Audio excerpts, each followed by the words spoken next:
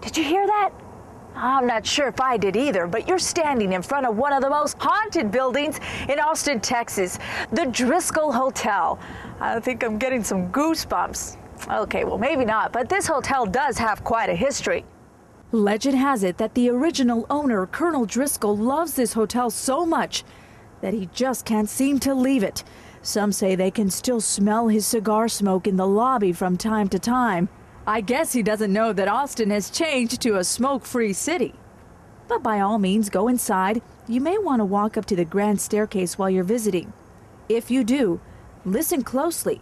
If you hear a bouncing ball or other childlike noises, it could be the daughter of a former senator who fell down the staircase to her death while chasing her ball.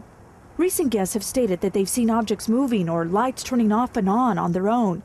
In fact, singer Annie Lennox even stated that while she was staying in the Driskill, one of her dresses mysteriously moved from the bed to the closet. So, what do you think? Are these urban legends or are they true?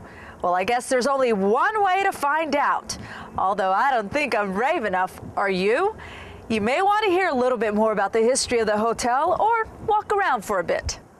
And when you're ready, continue down 6th Street to Congress Avenue. Turn to your right, and you will see the Littlefield building on the north side of 6th.